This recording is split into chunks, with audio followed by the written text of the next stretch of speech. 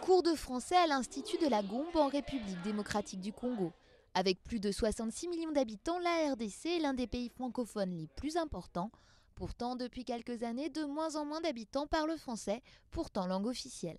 Je crois qu'il y a un déficit, un, je l'ai dit, du point de vue des programmes d'enseignement, deux, l'environnement ne permet pas la promotion d'une culture d'excellence, et troisièmement, nous n'avons pas des points de référence.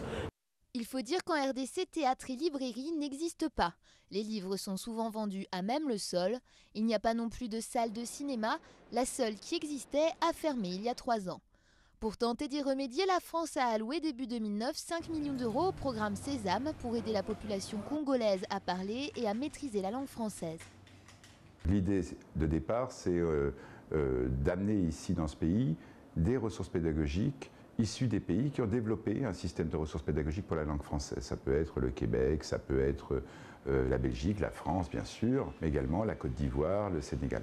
Et puis plus ça allait, plus la réflexion était tournée vers le fait qu'il fallait développer des ressources congolaises pour les Congolais. Comme le développement du frangolais, une langue issue du métissage entre le français et la culture du pays. Exemple. Momie, en fait, euh, ce n'est pas un cadavre embaumé comme c'était. Momie, c'est une femme. C'est la désignation d'une femme. Et en général, on utilise momie pour désigner une femme qu'on aime ou une femme qu'on courtise. Le frangolais semble être l'une des meilleures manières pour transmettre le français.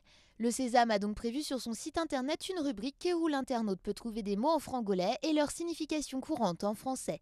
Des bibliothèques seront également ouvertes dans les différentes régions du pays.